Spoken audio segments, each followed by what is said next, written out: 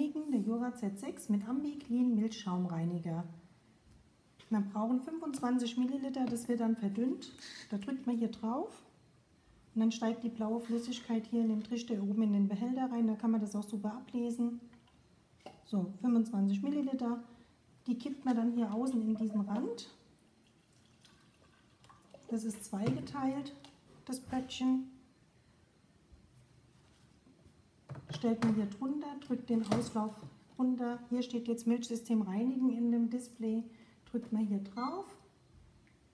Muss es nochmal bestätigen, dass das zwei Minuten dauert. Dann fragt er nochmal, ob man den Reiniger eingefüllt hat und ob man den Milchschlauch verbunden hat. Und dann kann es losgehen. Und diese blaue Flüssigkeit, die wird verdünnt. Die Maschine pumpt jetzt erst Wasser in diesen Behälter rein, wo wir schon die Flüssigkeit drin haben.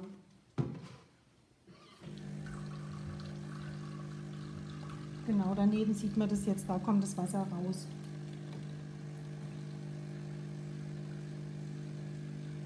Und wenn sie das verdünnt hat, dann zieht sie dieses Gemisch durch die Maschine und lässt es am Schluss in der Mitte in diesen runden Ausfluss rein.